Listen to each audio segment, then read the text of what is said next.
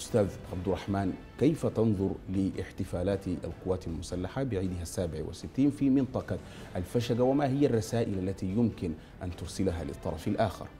طبعا الاحتفال القوات المسلحة بعيدها السابع والستين من منطقة الفشقة. نعم. رسالة ذات معنى. أن استعادة الفشقة أمر لا يمكن التخلي عنه. وأن القوات المسلحة ماضية في استردادها واستعادتها بالكامل. وفي هذا كانت رسالة البرهان مشيد شديدة اللهجة حين قال سنستعيد ما تبقى من أرض إما بالمفاوضات أو بخيارات أخرى. وفي هذا الخيارات مفتوحة. هذه واحدة. الرسالة الثانية وهي التي أطلقها السيد حمدوك قال أن الحدود الوحيدة المحسومة بين السودان ودولة جارة هي الحدود السودانية الأثيوبية. وفي هذا حمدوك كان يشير إلى الحدود التي تم الاتفاق عليها في 1902 نعم. وتم ترسيمها في العام 1903 الرسالة الثانية والمهمة جدا والتي ربما التقطها المراقبون أن حمدوك قال أن عهد الحلول المستوردة قد انتهى. وأن تنمية الفشل قد ستتم باستشارة مواطنيها. وفي هذا يشير إلى أن مبادرات كانت قد أتت من وراء الحدود. تتحدث عن تحويل الفشل إلى منطقة استثمارية بشراكة بشراكة من الذين صدروا لنا هذه المبادرة وسودانية وإثيوبية. نعم.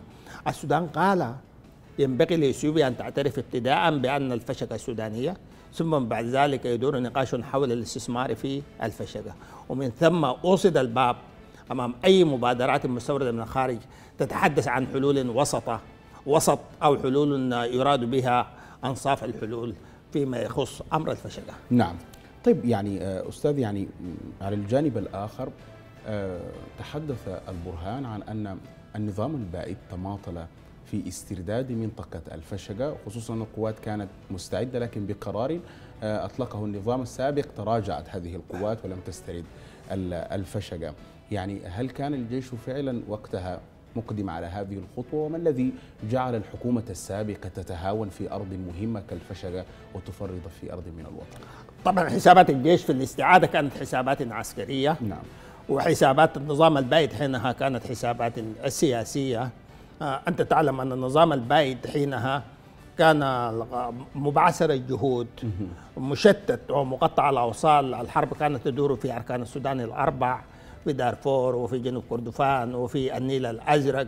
ومن ثم كان هو لا يستطيع التقاط أنفاسه ربما ظن أنه لو خاض حربا في هذا الجانب ربما لا يستطيع مواصلتها إلى ما لا نهاية الجيش كان لديه قراره لكن السياسيين حينها كانوا ربما لا يملكون قرارهم.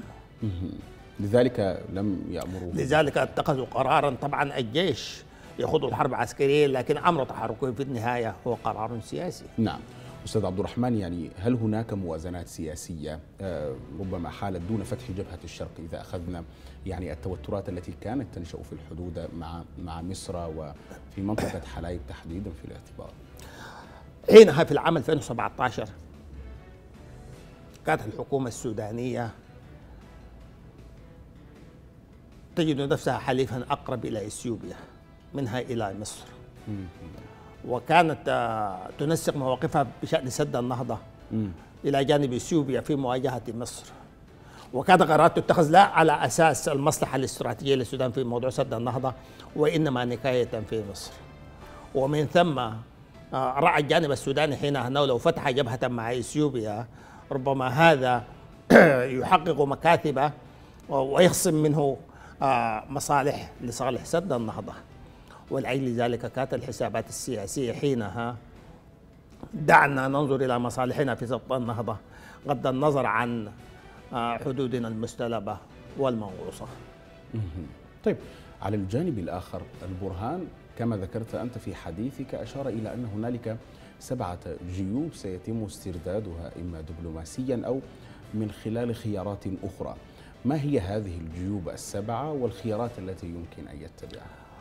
طبعا السودان مشكلته حدوده كلها فيها إشكالات في المثلث في منطقة جبل عوينات في منطقة حلايب نعم.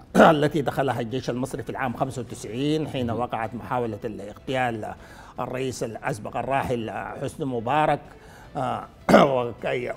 وحدودنا كذلك مع تشاد وحدودنا مع أفريقيا الوسطى كلها هناك جيوب مختلف عليها. لكن ربما ال- ال- ال- ال- ال- القضيتين الأبرز هما قضية ال- ال- الفشقه وقضية حلايب. في قضية حلايب السودان يدعو مصر إلى واحد من اثنين. إما أن يذهب إلى التحكيم الدولي وإما عبر المفاوضات. فعبر المفاوضات مصر أعادت جزيرتي صنافير آه، آه، إلى المملكة العربية السعودية. وعبر التحكيم استعادت مصر طابة من إسرائيل.